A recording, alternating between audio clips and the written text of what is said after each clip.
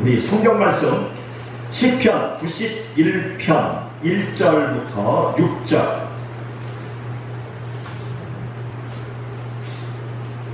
시편 91편 1절부터 6절의 말씀 우리 다 같이 공독하시겠습니다. 지존자의 은밀한 곳에 거주하며 전능자의 그늘 아래에 사는 자여 나는 여호와를 향하여 말하기를 그는 나의 피난처요 나의 요새요 내가 유래하는 하나님이라 하리니. 이는 그가 너를 새 사냥꾼의 올무에서와 심한 전염병에서 건지실 것임이로다. 그가 너를 그의 빛으로 덮으시니 내가 그의 날개 아래에 피하리로다. 그의 진실함은 방패와 손 방패가 되시나니 너는 밤에 찾아오는 공포와 낮에는 날아오는 화살과 어두울 때 퍼지는 전염병과 밝을 때 닥쳐오는 재앙을 두려워하지 아니하리로다. 아멘.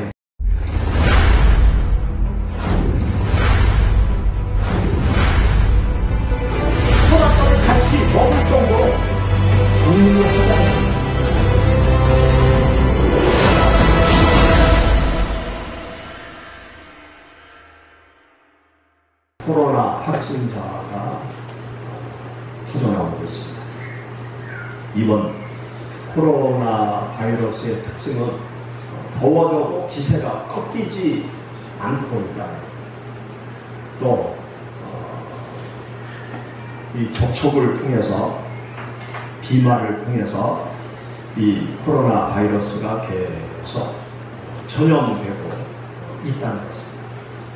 그리고 전염성이 강한 그러한 변종을 계속 일으키고 어, 있다는 것입니다.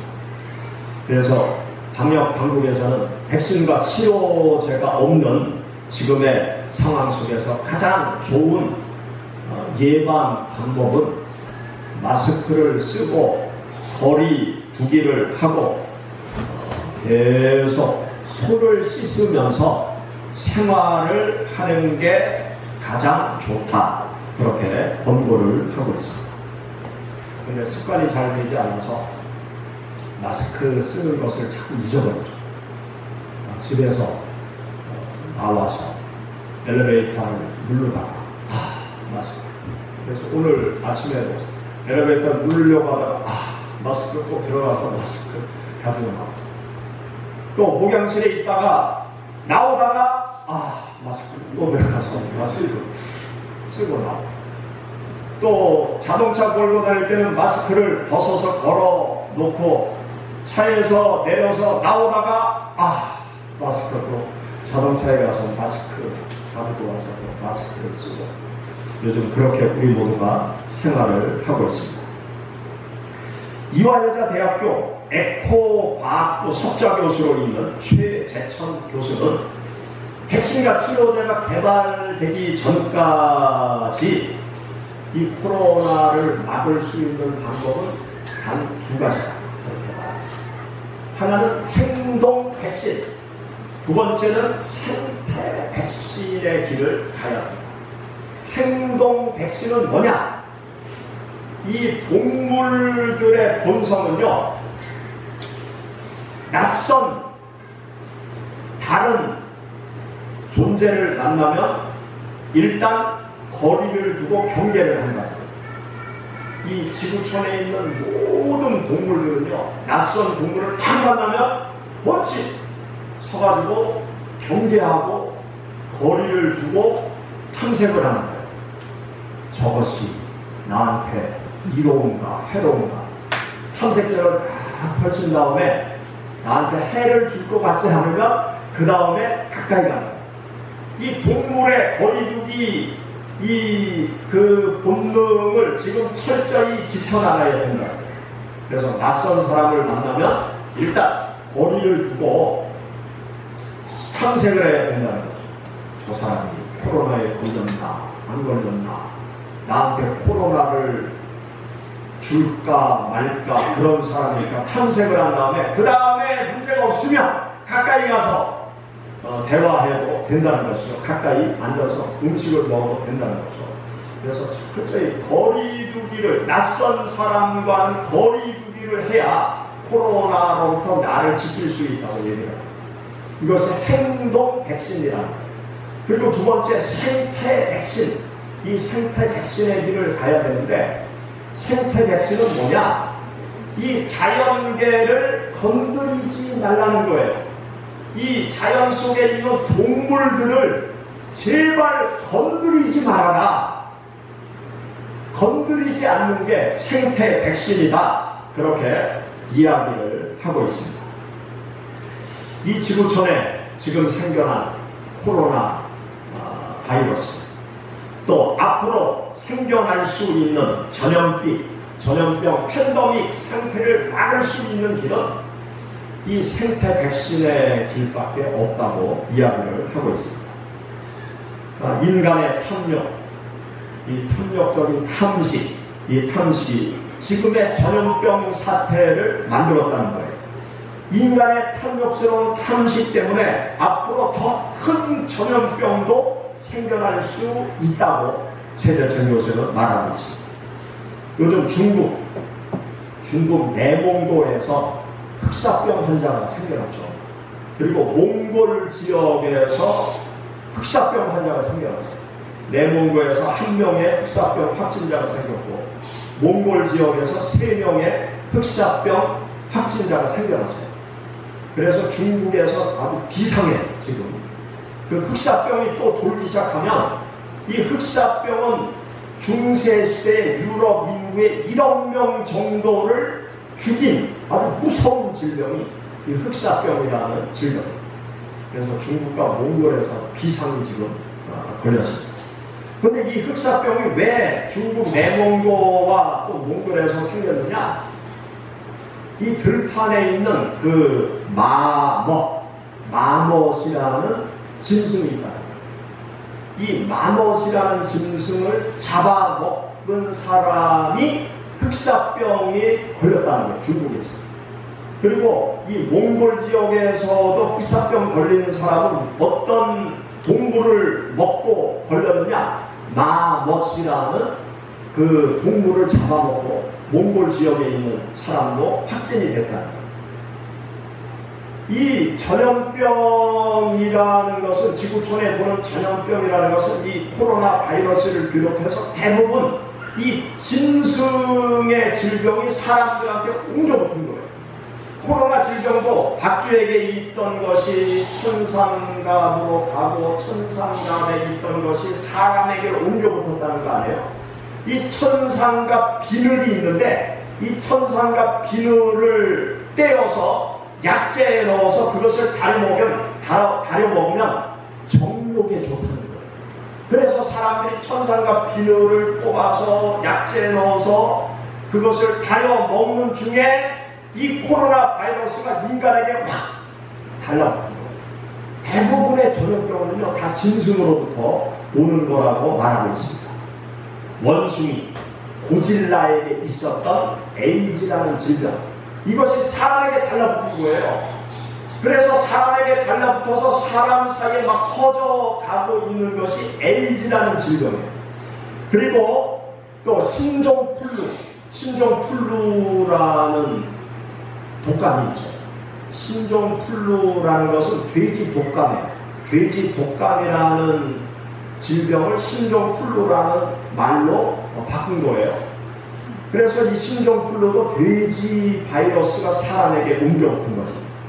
그리고 낙타, 낙타에서 사람에게 옮겨붙은 게 메르스 질병이고 또 철새의 독감이 사람에게 옮겨붙은 게 조류 독감이고 그리고 박쥐로부터 코로나 바이러스뿐만이 아니라 에볼라, 에볼라 바이러스가 뛰쳐나와서 사람들에게 달라붙어가지고 이 에볼라 바이러스는 치명률이 거의 99%라 걸리면 죽는 거예요.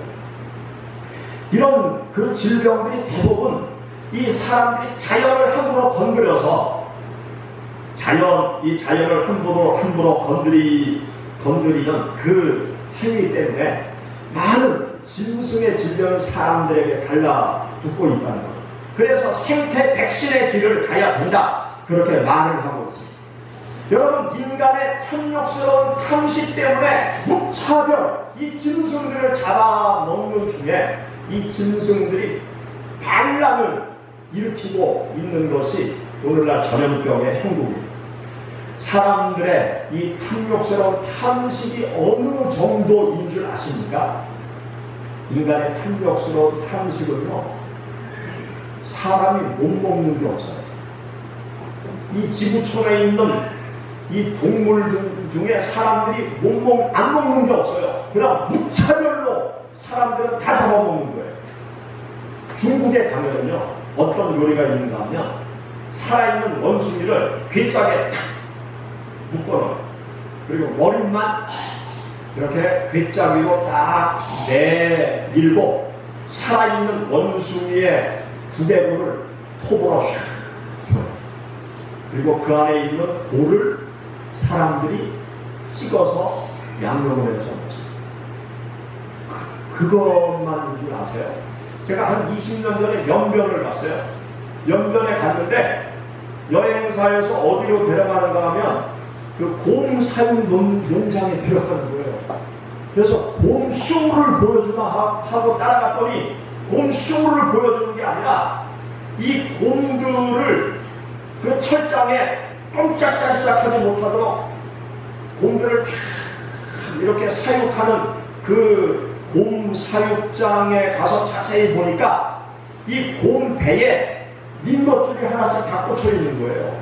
그래서 저게 뭡니까 그랬더니 그 살아있는 곰의 쓸개에 주사바늘을 탁 꽂아놓은 거예요. 그리고 거기에서 그 쓸개 즙을 받아내는 거예요. 그 쓸개 즙 받아낸 웅담 애결 곰 쓸개즙을 몸에 좋다고 사람들이 비싼 돈을 주고 사먹습니다. 얼마나 잔인해요. 살아있는 그 곰의 쓸개의 바늘을 찔러가지고 그 즙을 계속 뽑아내가지고 그걸 몸에 좋다고 사람들이 먹는단 말이죠. 그리고 유럽의 사람들이 아프리카로 여행 가는 중요한 그 이유 중에 하나가 뭔가 하면 야생 동물, 야생 동물 고기를 먹기 위해서 아프리카로 여행을 간다. 는 그래서 아프리카로 여행을 가서 식당에 가면 그 메뉴표가 딱 나오는데 이 메뉴표가 완전히 그 동물 농장, 동물 농장 메뉴표라는 거예요. 콧불소 고기, 악어 고기, 물소 고기, 두렁이 고기, 이게 식당인지 동물농장인지 구분이 안 되는 그런 그 음식점을 유럽 사람들이 즐겨 찾아간다는 거예요. 그게 아예 유럽까지 들어와서 유럽에서 그런 장사를 하고 거예요. 인간의 욕망을 채우기 위해서 사람들이 무분별하게 자연을 훼손하고요. 그리고 인간의 이 탐욕스러운 탐식을 채우기 위해서 무차별, 무안정, 정글 속에 들어가서 짐승을 포획해서 그 짐승들을 먹어치우는 그 탐욕스러운 행동 때문에 지금의 화가 인간들에게 가고 그리고 앞으로 더 큰 재앙적인 전염병의 팬데믹이 인간 세상에 닥쳐오게 된다고 말을 하고 있습니다. 이런 전염병을 막기 위해서 행동 백신, 생태 백신의 길을 걸어가야 된다. 그렇게 세상 학자들은 이야기하고 있는데요. 저는 그것으로 부족하다고 생각합니다. 저는 두 가지 백신의 길을 더 걸어가야 된다고 저는 생각합니다. 첫, 세 번째는 무엇인가 하면 본능 백신, 본능 백신의 길을 걸어가야 돼. 그리고 네 번째는 신앙 백신의 길을 우리 인간들이 걸어가야 돼. 이 본능 백신의 길은 무엇을 말하느냐? 내 마음속에 있는 죄악의 본능과 거리를 두는 거예요. 그리고 신앙 백신의 길은 뭐냐? 이 세상을 가까이 하는 게 아니라 하나님을 가까이 하는 신앙 백신의 길을 우리 모두가 걸어가야 되는 것입니다. 이 복는 백신의 길에 대해서 좀 더 구체적으로 말씀을 드리면요. 인간의 탐욕스러운 본능, 이 탐욕스러운 본능이 생태계를 무차별 공격하면서 이 생태계의 반격을 반란을 우리 인간이 경험을 하고 있습니다. 이 생태계의 반격, 생태계의 반란을 막기 위해서는 이 생태계를 건드리지 말아야 되는데 이 생태계를 건드리지 아니하려고 하면 내 안에 있는 탐욕스러운 탐식의 본능을 건드리지 말아요. 탐욕스러운 본능과 거리 두기를 해야 돼요. 내 마음속에서 이상한 고기를 먹고 싶은 그 탐욕스러운 탐식의 본능과 손을 잡게 되면 생태계를 파괴하는 거잖아요. 그래서 내 마음속에서 솟구쳐 올라오고 있는 탐욕스러운 이 본능과 거리 두기를 우리는 계속 해야 합니다. 이 탐욕스러운 본능과 거리 두기를 하지 않으면요 생태계를 무차별 파괴시킬 뿐만이 아니라 이 탐욕스러운 본능과 손을 잡게 되면 인간이 어떻게 되느냐 죄악의 괴물이 되어요. 이 탐욕스러운 본능과 인간이 내가 손을 잡아서 죄의 괴물이 되어지는 모습을 우리는 세상에서 보게 돼요. 세상에서 보고 있어요. 여러분, 성적인 본능이라는 것이 있죠. 이 성적인 본능은 나쁜 게 아니에요. 이 성적인 본능이 쾌락과 쾌락을 추구하고자 하는 인간의 마음과 손을 잡아요. 그러면 인간이 그때부터 괴물이 되어집니다. 이 성적인 본능이 쾌락을 추구하고자 하는 그 마음과 손을 잡게 되면 사람이 비정상적으로 바뀌어져요. 그래서 남자끼리 결혼을 하고 여자끼리 결혼을 하고 동성애가 만들어지는 것입니다. 그리고 부부 관계가 깨져.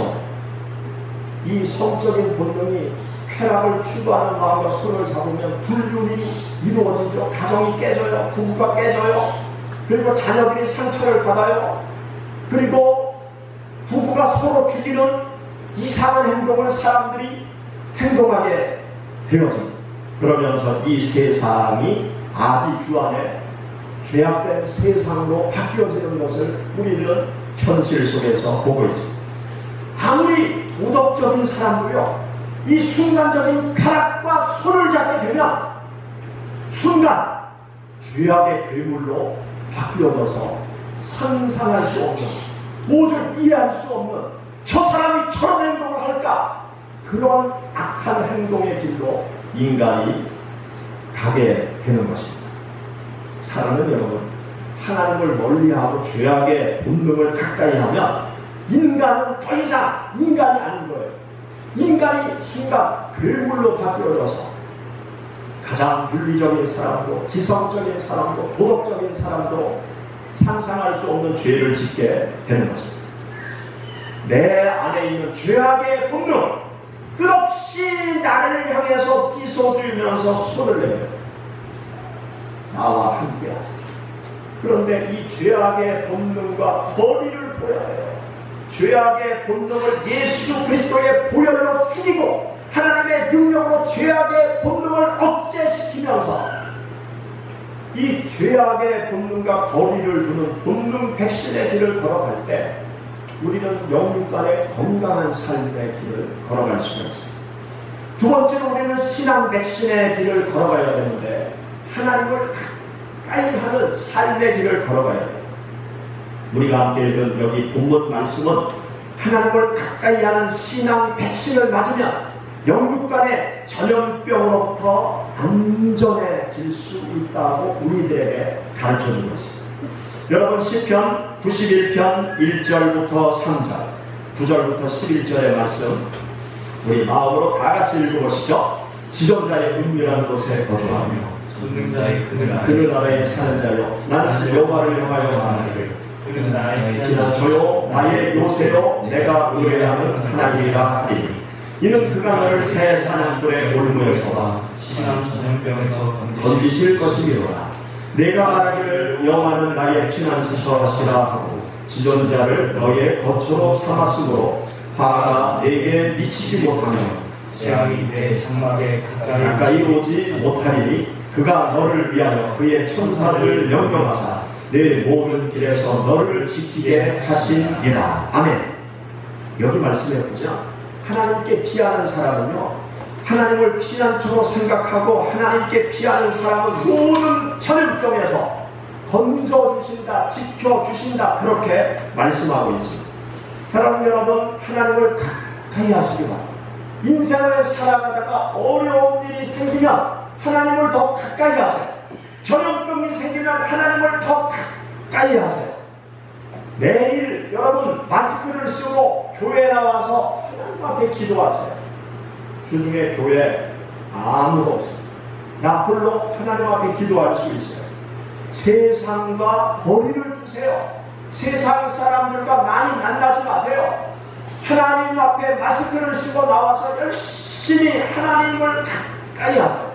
그러면 하나님께서 나를 지켜주시고 나를 인도하시는 은혜의 세계로 나아갈 수가 있는 것입니다.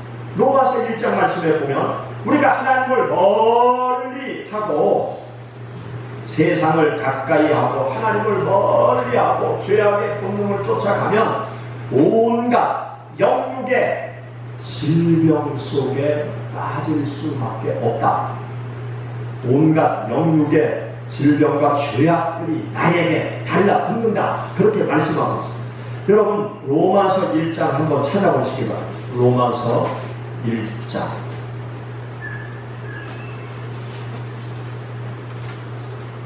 로마서 1장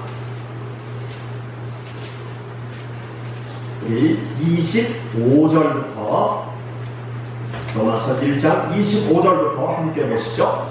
이는 그들이 하나님의 진리를 거짓 것으로 바꾸고 피조물을 조물주보다 더 경배하고 섬기리라.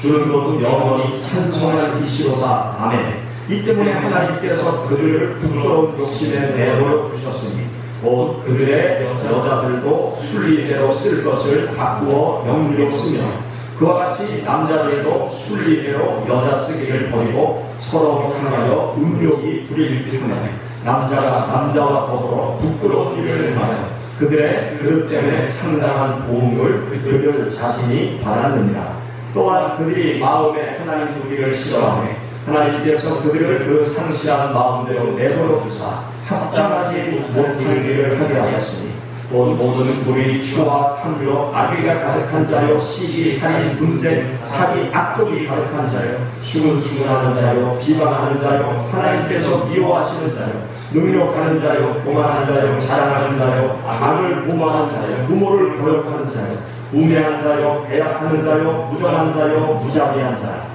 그들이 이 같은 일을 행하는 자는 사형에 해방한다고 하나님께서 정하심을 알고 자기들만 행할 뿐 아니라 또한 그런 일을 행하는 자들을 옳다 하느니라. 아멘. 여기 말씀에 보면은요, 하나님을 멀리하고 이 죄악의 본능을 쫓아가게 되면 여러 가지 죄악된 행동을 할 수밖에 없다.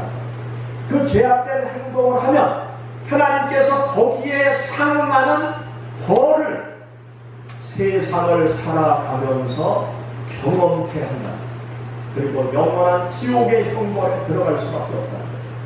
여러분, 이 죄악의 본능과 가까이 하면서 살아가는 사람들, 육신의 나는 질병 속에 빠져요.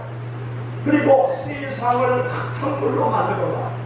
그리고 그것 때문에 자신이 결국은 화를 당하고 있는 것을 우리는 세상 속에서 보게 되었습니다. 우리는 한평생 살아가면서 늘 죄악의 본능과 거리를 두어야 해요. 그리고 하나님을 그 가까이 하는 신앙의 길을 걸어가야 돼요. 여러분들이 죄악의 본능과 거리를 두시고 하나님을 가까이 하는 신앙 백신의 길을 걸어가십니다. 어려운 중에도 하나님께서 돌봐주시고 어려운 중에 더 큰 축복의 세계로 여러분을 이끄시는 하나님의 은혜를 경험하시기를 주의 이름으로 축원합니다. 같이 기도하시겠습니다.